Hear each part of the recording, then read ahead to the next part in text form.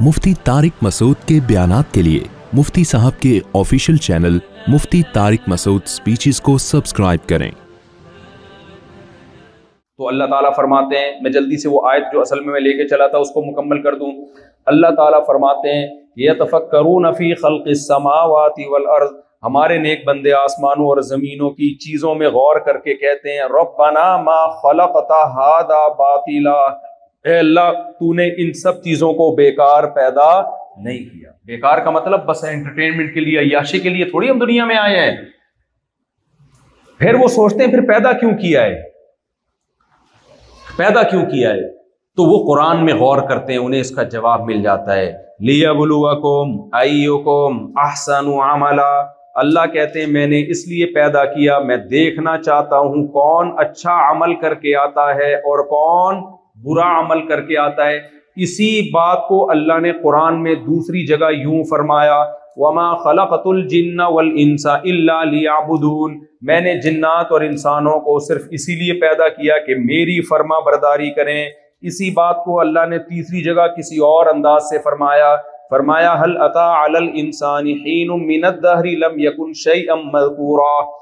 انا خلقنا الانسان من نطفه امشاج نبتليه فجعلناه سميعا بصيرا انا نا السبيل اما شاکرن و اما کفورا ہم دیکھنا چاہتے ہیں کہ شکر گزار بن کے آتا ہے یا نا شکرا بن کے آتا ہے ایک جگہ قرآن کہہ رہے ہیں، ہم دیکھنا چاہتے ہیں اچھا عمل کرتا ہے یا برا عمل کرتا ہے۔ ایک جگہ اللہ نے کہا، ہم نے اس لیے انسان کو پیدا کیا، ہم دیکھنا چاہتے ہیں، میرا فرما بردار بنتا ہے یا نہیں بنتا۔ ایک جگہ اللہ نے فرمایا، ہم نے انسان کو اس لیے پیدا کیا، ہم دیکھنا چاہتے ہیں کہ شکر گزار بنتا ہے یا نا شکرا اس سے پتا چلا، تینوں چیزیں ایک ہی چیز کے نام ہیں جن کو تین مختلف الفاظ سے تعبیر کیا جا رہا ہے۔ نہیں آئی، میرا خیال ہے بات۔ آپ لوگ تھک تو نہیں گئے؟ نماز کتنے بجے عشاء کی؟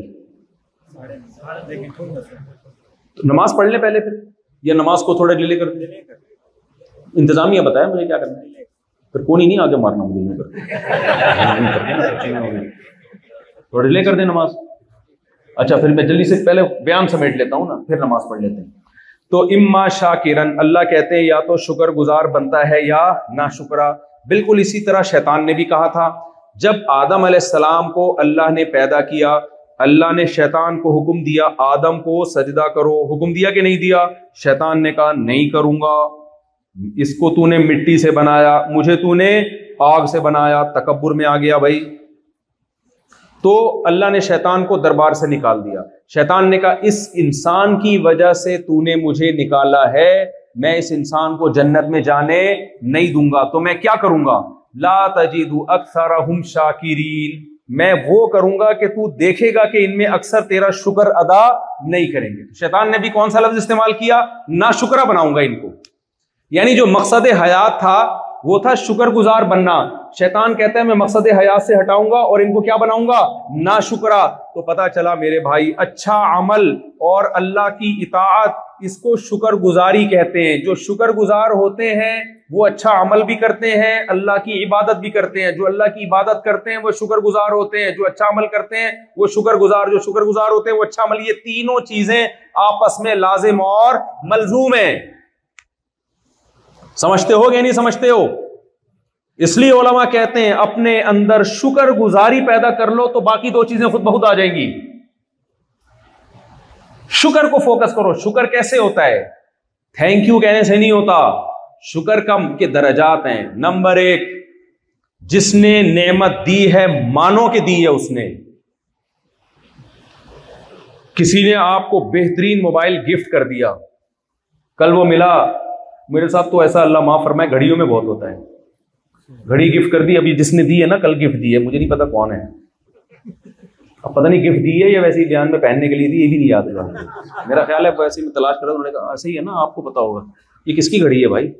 یہ واپس کرنی ہے، اس کو مجھے یاد دلا دینا۔ بولے گا، میں نے ایسی دی تھی، یہ تو پہن کے ہی چلے گئے۔ تو بہرحال سب بول دینا، مجھے ابھی یاد آیا اتفاق تو یہ ناشکری ہے، اللہ معاف فرمائے۔ جس نے دی، آپ کیا ہو گئے؟ اتنے سارے لوگ تھے نا، اس نے وہ، میری گھڑی تھوڑی خراب ہو گئی۔ میں نے ان کو کہا کہ یہ بنوانے دے دیں تو اتنے میں کسی نے اپنی ہاتھ کی گھڑی مجھے دی کہ اس سب آپ یہ پہن لیں۔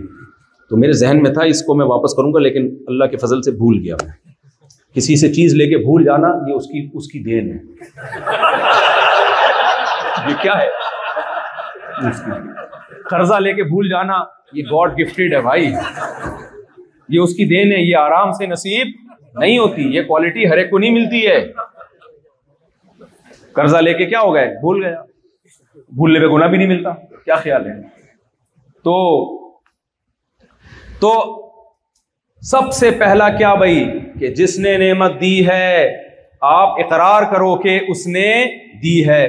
کافر اقرار نہیں کرتا۔ بس یہ بات کو میں سمیٹ کے ختم کر رہا ہوں، اب خاتمے کی طرف لے کے آ رہا ہوں۔ کافر کہتا ہے، بس قدرتی طور پر ہو گیا، پیسہ مل گیا ہمیں، میں آیا تھا امیرکا پیسے کے لیے، تو میری لک ہے کہ پیسہ مل گیا۔ میری لک ہے کہ ویزا مل گیا۔ میری لک ہے کہ پیسہ مل گیا۔ بھائی، لک وقت کچھ نہیں ہوتا۔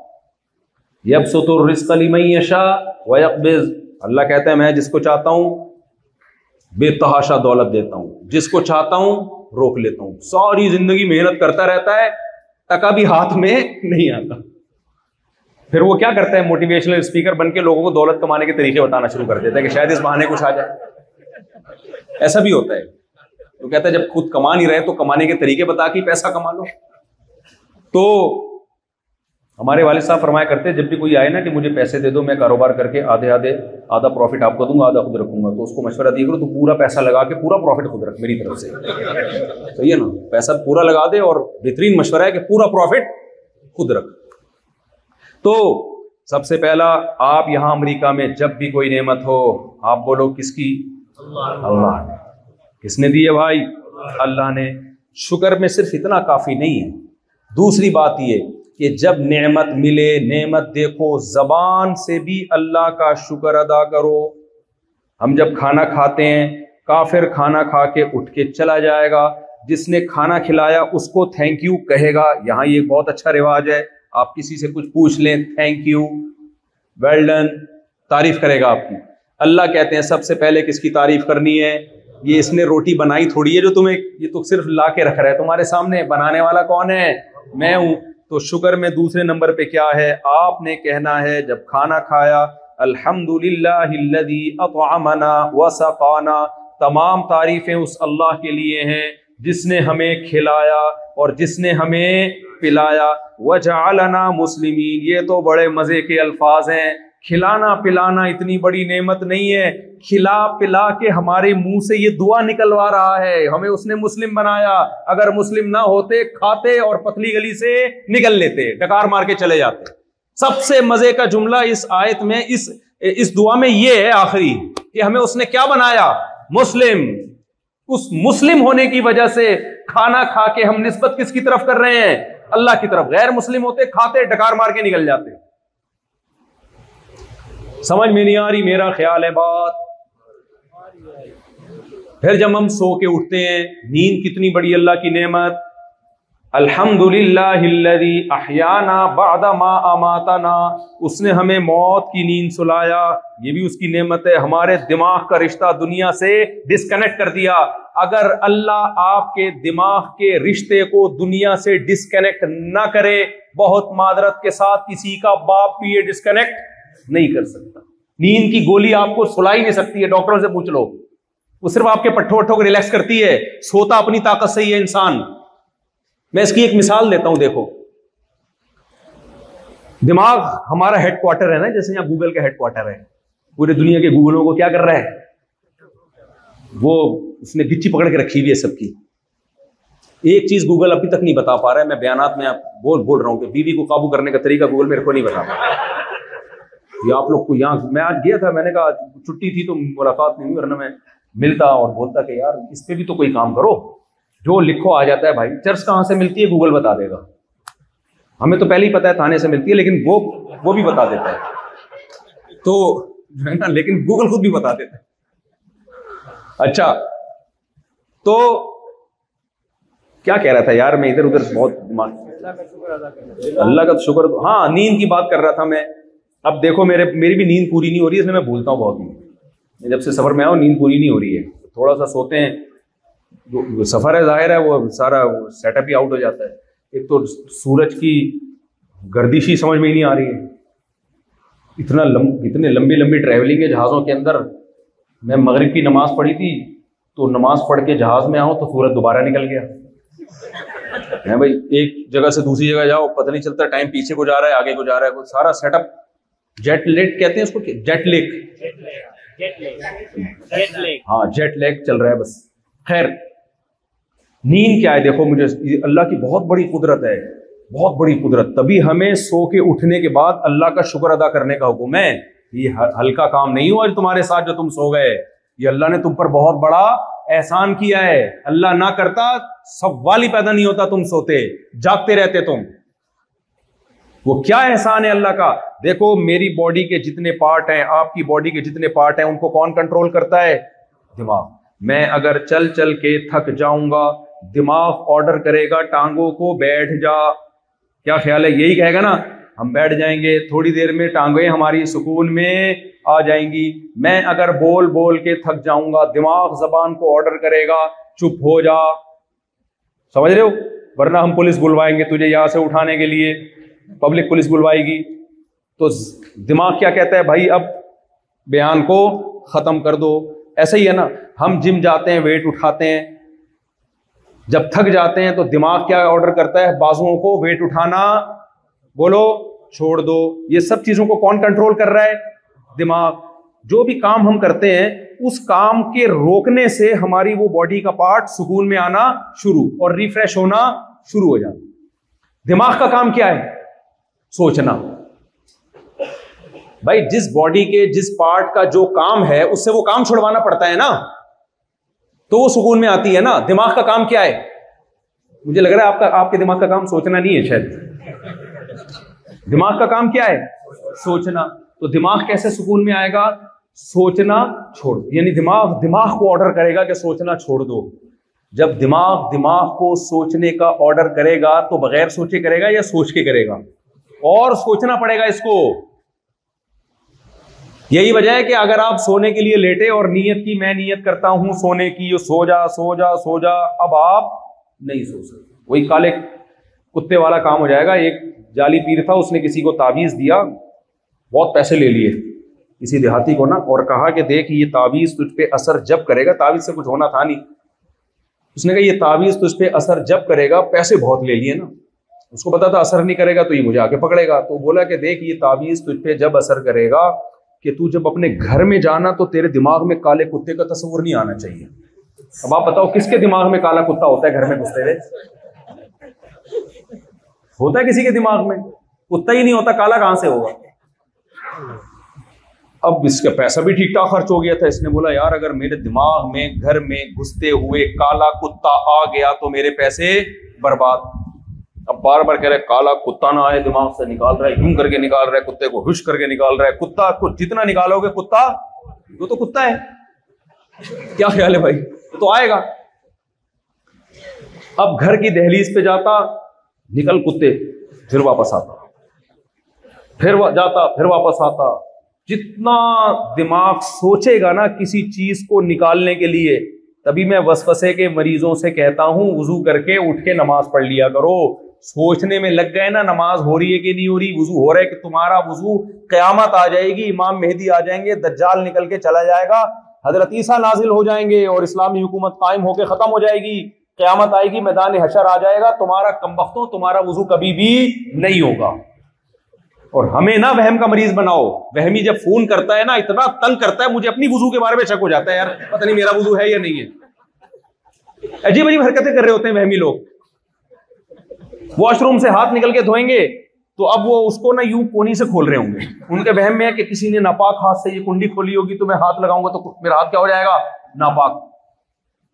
پھر یوں کھولا تو اب یہ جگہ ناپاک ہو گئی اب اس کا کیا کرے کسی یہ لگ گیا وہ ناپاک، بس کرو یار۔ استنجا گھنٹے گھنٹے بیٹھا رہے گا، دروازہ بند کر کے نہاتا رہے گا تو ٹینکیوں کی ٹینکیاں خالی ہو جائیں گی۔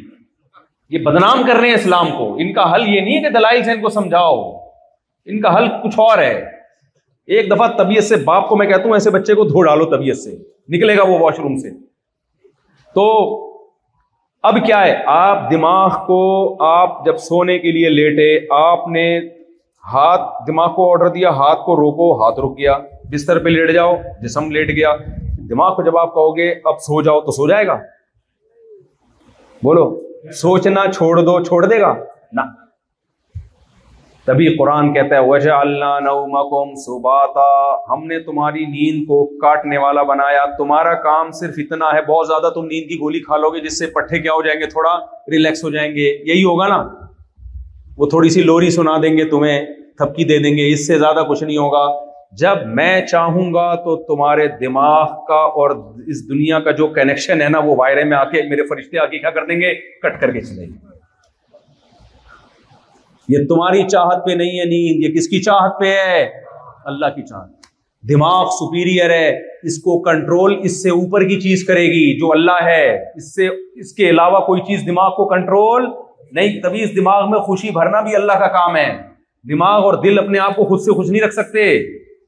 جو خوشیوں کے پیچھے بھاگتا ہے، خوشی آگے آگے بھاگتی ہے۔ خوشیوں کی فکر کرنا چھوڑ دو۔ اللہ کی رضا کی فکر کرو، اللہ خود دل میں خوشی ڈال دے گا۔ چھوڑ دو کہ خوش ہونا کسے کہتے ہیں۔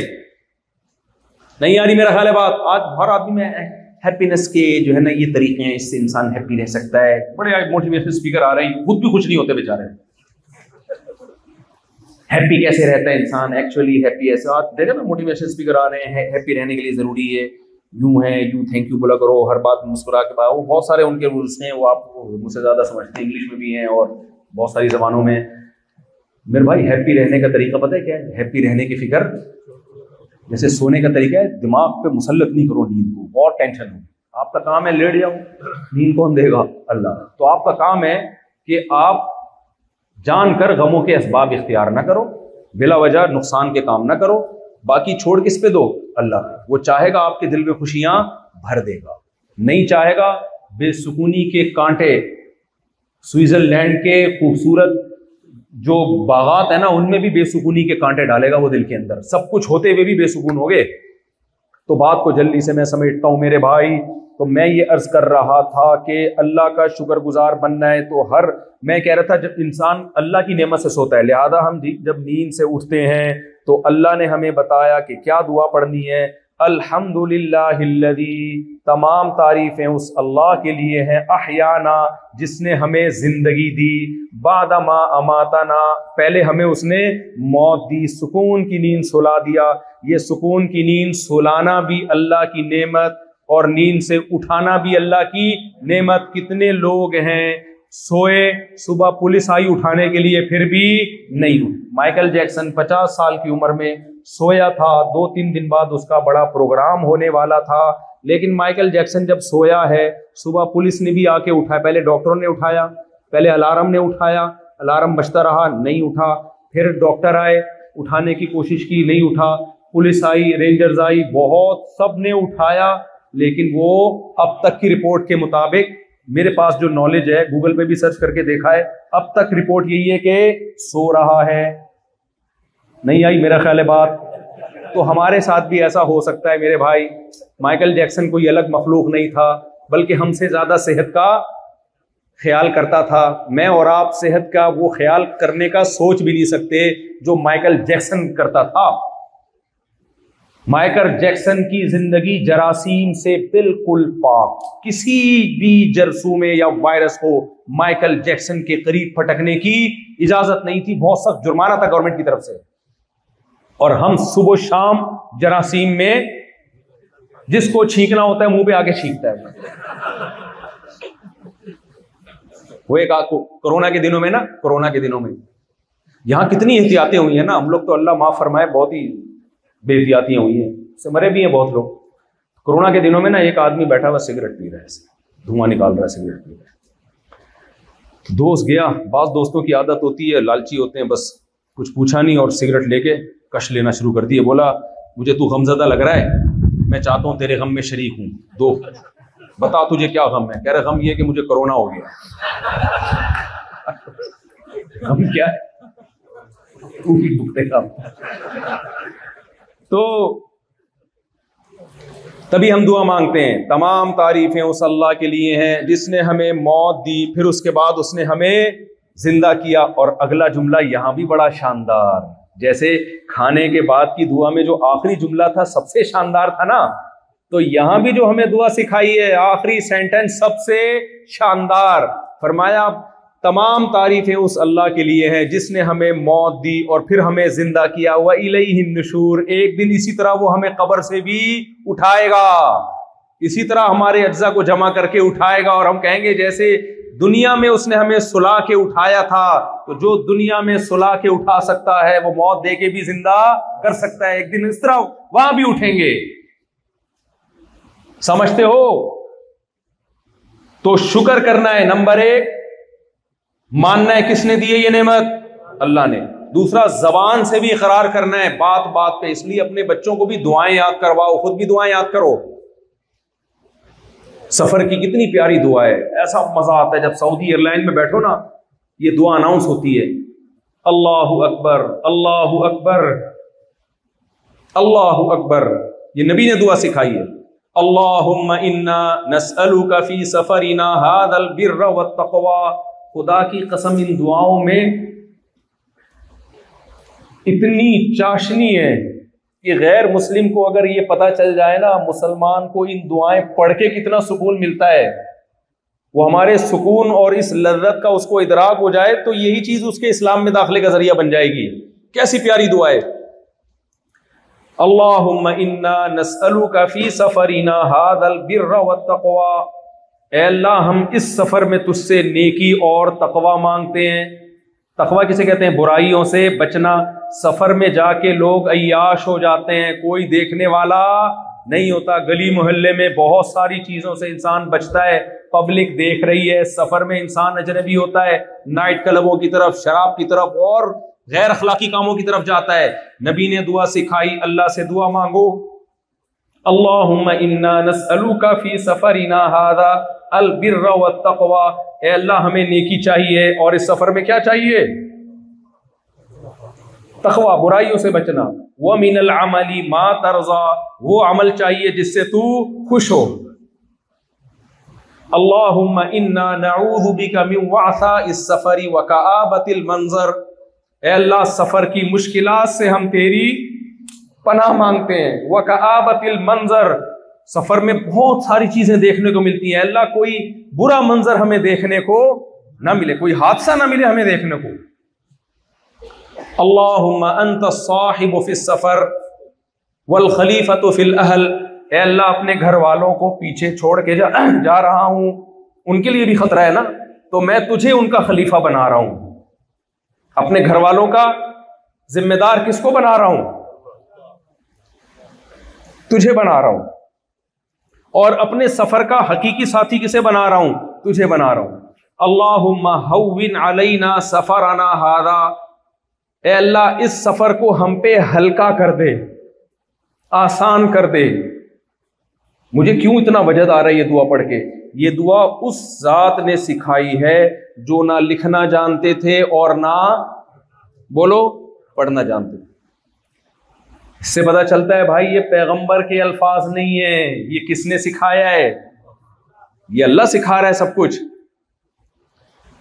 اللہ علینا سفرنا هذا وطوی عنا بعدا۔ اے اللہ، اتنا لمبا سفر ہے، تجھ میں یہ قدرت ہے، اس لمبے سفر کو مختصر بنا دے۔ یہ مطلب نہیں کہ چوبیس گھنٹے کا سفر پندرہ گھنٹے میں ہوگا۔ چوبیس گھنٹے کا سفر ہوگا، لگے گا جیسے چار گھنٹے میں، تین گھنٹے میں طے کیا ہے۔ بعض دفعہ آدھے گھنٹے کا سفر ہوتا ہے، لگتا ہے پیدائش سے لے کے اب تک سفر میں ہی ہے۔ ہوتا ہے نا پہ بھائی کب اترے گا جہاز؟ کھڑکی سے چھلانگ لگا دیں جیسے فور کے کا سفر۔ فور ایل کا نا، وہ نیمبو چٹاؤں۔ تو یہ اللہ کے ہاتھ میں لمبے لمبے سفر ایسے لگتے ہیں، بہت ہلکے۔ ہلکے سفر ایسے لگتے ہیں جیسے بہت ایک ایک دعا دیکھ لو جو پیغمبر نے سکھائی ہے۔ ایک ایک دعا دیکھ لو۔ یہ چیزیں میرے بھائی غیر مسلموں کے پاس نہیں